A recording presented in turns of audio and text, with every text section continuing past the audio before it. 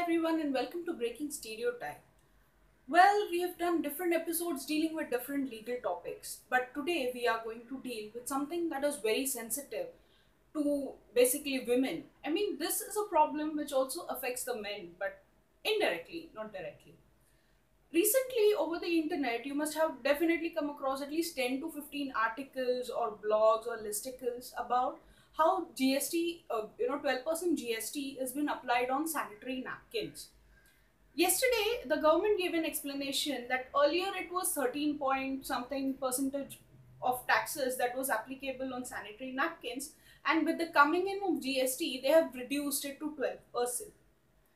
Now, my uh, okay, if that was not enough, the other additional, uh, you know, explanation that the government gave for, uh, you know, including GST, uh, you know, including sanitary napkins as a part of uh, luxury goods for GST, was that you know the raw materials which are used to make uh, the sanitary napkins are being taxed for GST at the rate 18%. So therefore, it is a loss for the manufacturers, and therefore they need to collect GST from the common man. How ridiculous. Now, on the contrary, other items such as sindoors and bangles have been excluded from GST. Why? Because they are required by women in their day-to-day life. Don't women require sanitary napkins for five days in a month? Friends, recently, you know, I don't know if it was last week or so, there was a news where a girl was bit by snake when she was staying in a kutia. A kutia is a small house which was specially built in the community so that you know menstruating women could go and stay there. They are kept aloof from the society. She could not call for help. Nobody knows if she had proper food, clothing, and shelter. Who knew how the house was? Even today, many women across our country use ash, sawdust, unhygienic clothes, plastic, and I don't know what not to just deal with those five days the government instead of making some propo- uh, you know some proposal or some alternative for these women to deal with, th- with those tough five days has made it even more difficult by adding and by you know the worst thing that they did they termed sanitary napkins as a luxury good dear government for a woman who goes through five days of periods it's not a day of luxury the day she is being isolated, the day she is being kept aloof from the society, it hurts her the most.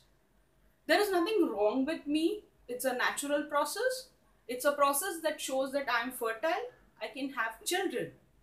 Just the same way, you know, applying a sindoor or wearing a bangle probably shows that I am married and I have a husband at home for whose long life I am praying. If I do not menstruate, I cannot bear the same husband's child.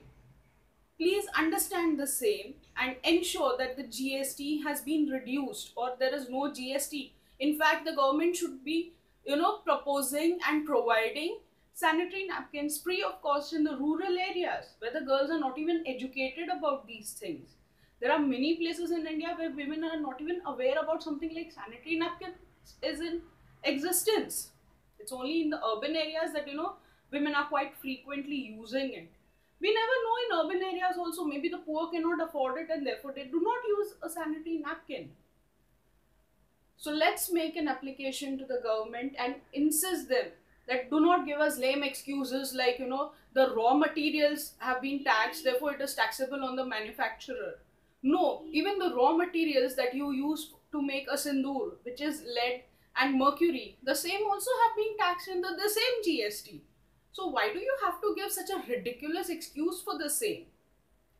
To know more about many such ridiculous law and stereotypes that, that is high time to break, please subscribe to this channel. And you know, here we have the uh, videos that were previously played. You can have a look at them. And also leave your comments and your inputs on the same topic on our Facebook page and also on the videos below please do write in you in the comments what are the next things that you want to know or you would like to discuss about it i guess it is really high time that we start talking about the problem and you know find out a solution for the same instead of just hiding everything in the name of culture tradition society it is high time we give importance to science we give importance to hygiene deal with the problems and live in a better society. Thank you